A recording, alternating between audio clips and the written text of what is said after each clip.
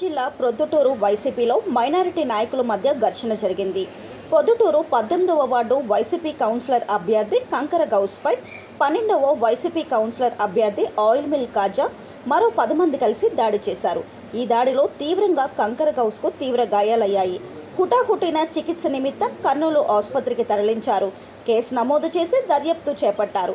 అయితే ఇరు వర్గాల వారు వైసీపీకి చెందిన నాయకులు కావడంతో ప్రొద్దుటూరు వైసీపీలోని అసమ్మతి ఒక్కసారిగా బయటపడింది. గత రాత్రి పొద్దుటూరు పట్టణంలో జిన్నా రోడ్లో మొహమ్మద్ గౌస్ అనే వ్యక్తి మీద ఆయిల్ మిల్ కాజా వాళ్ళ సహచరులు దాడి చేయడం జరిగింది. ఆ దాడిలో మొహమ్మద్ గౌస్ అనే వ్యక్తికి రక్త గాయాలు జరగడం జరిగింది. అతను ఇమీడియట్గా గవర్నమెంట్ హాస్పిటల్ షిఫ్ట్ చేయడం జరిగింది. వాళ్ళ తమ్ముడు ఇచ్చిన ఫిర్యాదు మేరకు మేము కేసు నమోదు చేయడం జరిగింది. దీని మీద పూర్తిగా విచారించి అక్యూజ్ను కూడా తొందరలోనే పట్టుకొని రిమాండ్ పంపడం జరుగుతుంది. వాళ్ళ మీద కూడా కఠిన చర్యలు తీసుకోవడం జరుగుతుంది.